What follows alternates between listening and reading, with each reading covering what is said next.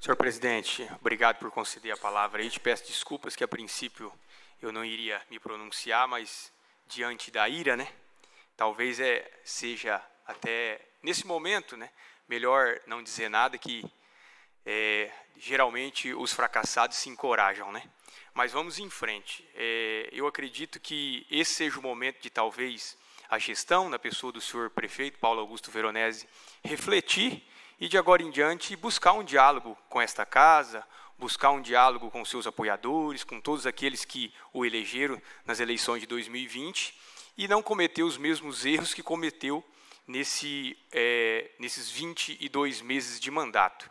Então, o resultado que obteve na urna, o candidato que ele apoiou, os candidatos aqui da cidade mostra o quanto a gestão estava andando na contramão. E nós sabíamos disso. Nós alertamos, nós falamos, é, todos vocês aqui sempre reclamam, sempre fazem indicação, pouco é atendido, a gente sabe o esforço de, da administração em trabalhar, mas simplesmente a máquina vinha trabalhando a favor do candidato que ontem foi derrotado nas urnas. Então, eu espero que isso sirva de reflexão. Nós, aqui a Câmara, a nossa colega é, jurídica Márcia, sempre é, diz que somos parte da administração. Né? Essa casa aqui também vota as leis, discute, e quando somos cobrados, nós somos cobrados como se nós fôssemos secretário de obra, como se nós fôssemos executores das coisas. Infelizmente não somos, nós somos legisladores, somos quem indica, quem legisla e quem faz pelo município. Agora, a parte de executar é a parte do executivo, do prefeito e seu secretariado.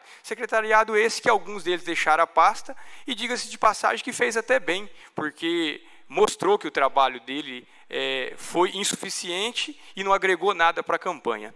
Quanto ao secretário de Finanças, é, eu disse desde o momento, antes de tomar posse, que o prefeito estava dando a chave do galinheiro para a raposa.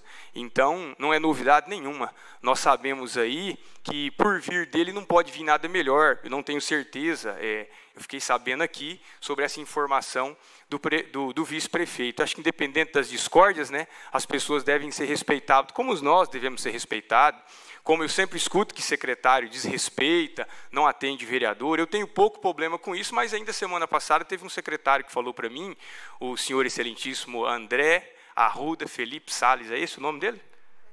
André Felipe Arruda Salles falou: ó, não tem tratativa comigo, Gleinei, tratativa sua é com o prefeito. Eu me senti é, muito contente do secretário me passar para o prefeito, mas nós está, eu estávamos lá simplesmente para pedir uma informação, informação dessa que ele poderia me dar no seu precioso tempo que é pago com os recursos do cidadão, com aqueles que, que é, pedem esclarecimento.